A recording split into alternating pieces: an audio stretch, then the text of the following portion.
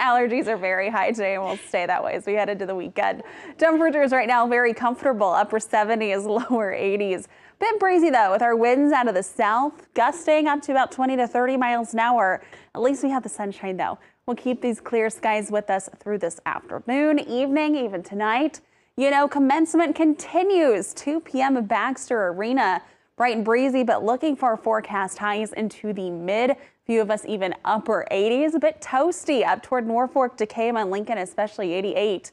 86 this afternoon in Omaha, 83 in Atlantic as well as Falls City. Keeping it pretty warm tonight, mostly clear, breezy early, only a low of 61. So even heading out early tomorrow, don't need those jackets. Our latest storm predictor model throughout the day today. And again, all your Friday night plans still looking good. Clear skies, warm temperatures, though a little breezy and those allergies. Couple passing clouds tomorrow morning, but more sunshine into your Saturday afternoon. Now, as we head into Saturday night, early Sunday, clouds increase. This forecast model wanting to bring in more showers and storms early Sunday, which means less storms Sunday evening.